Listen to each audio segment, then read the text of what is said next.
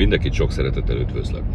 Miután az utóbbi időben megnőtt a befektetői kereslet, az olcsóbbá vált, vagy többségében mondjuk úgy olcsóbbá vált osztrák ingatlanok iránt, emiatt mi is egy kicsit jobban koncentráltunk erre a területre, ezáltal begyűjtöttünk jó pár projektet, amelyeknél garantálható az, hogy a piaci, vagy legalábbis az eddig megszokott piaci árhoz képest bőven kedvező árért lehet venni ingatlant Ausztriában.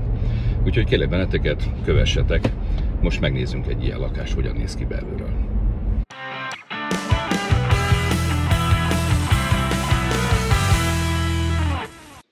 Üdvözlök mindenkit a helyszínen is. Ahogy láthatjátok, egy még berendezetlen gráci befektetői lakásban vagyok. Nyilván a befektetői jelleg az nem látszik rajta, de az igen, hogy ez egy lakás, az is, hogy új építésű, illetve az is, hogy gyakorlatilag nincs berendezve, hiszen a befektetői lakásoknak a továbbadása során albérleti használatra kerülnek kiadásra ezek az ingatlanok, ami azt jelenti, hogy alapvetően egy konyha kerül beszerelésre a hozzátartozó elektronikai eszközökkel, és ennyi volt. A WC-ben a tükör, a plafonon a lámpa, illetve a szekrény a mosdó alatt, az mind a bérlő feladata, illetve ugyanúgy a többi bútornak a beszerzése is. Ez alól természetesen kivételt jelent, hogyha valaki rövid távú bérletre szeretné hasznosítani az általa vásárolt lakást vagy házat. Az új építésű ingatlanokról, bár szerintem ezt nagyjából mindenki tudja, annyit érdemes tudni, hogy az energiahatékonyságuk kiemelkedő. Nagy általánosságban elmondható, hogy bár a vásárlási ár, tehát a bekerülési árunk az relatíven magas, ugyanakkor a fenntartási költség annyira csekély képest, hogy valahogy ez a kettő összeg hosszabb távon kiegyenlíti egymást.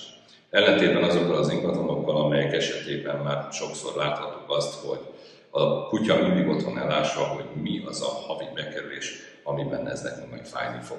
Elmondható, hogy nem ritka az 500-700 vagy akár az ettől magasabb fenntartási költség sem.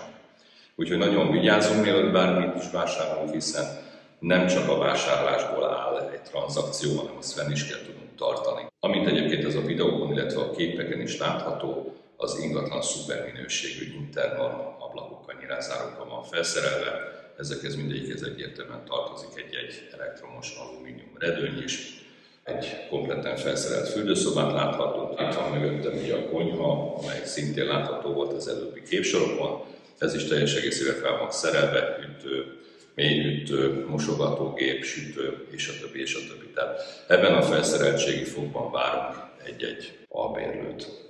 A grác, illetve általában ezt is elmondhatjuk, hogy az osztrák árak rendkívüli módon megszaladtak az utóbbi időben, hogyha a mintavétel alapjául 2000-es évek elejét veszük, akkor abban az esetben ez több mint 100%-os növekedés jelentett bizonyos régiókban, volt ahol többet is.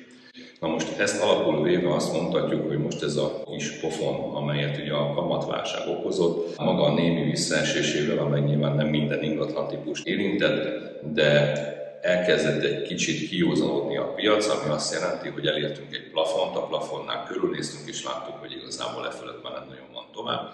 Mit jelent ez a gyakorlatban?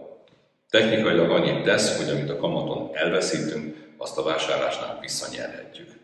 A kiadásunk lehet, hogy ugyanannyi lesz, mint egy korábbi jó kamattal megállított konstrukció esetében egy magasabb áru ingatlannál. Nagyjából megállapítható, hogy legalábbis kompenzálja egymást picit ez a kettő folyamat.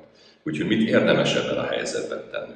A következőt érdemes, ha nem nagyon van szükségünk bankit erre, illetve kevésbé van rá szükségünk, akkor most érdemes vásárolni. Feltétlenül, méghozzá úgy, hogy alkotjunk is.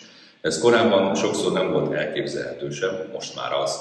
Ennél az ingatlanás egyébként elmondható az, hogy 5500 euró környékéről indult, és a jellegi ár az 4500-4400 körül mozog, attól függ, hogy ki melyik méretű lakást vásárolja.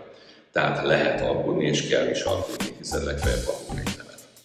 Köszönöm szépen, hogy velem voltatok, és meghallgatatok, ha bármi kérdés van, forduljatok hozzám nyugodtan az alábbi elérhetőségeken. Thank you.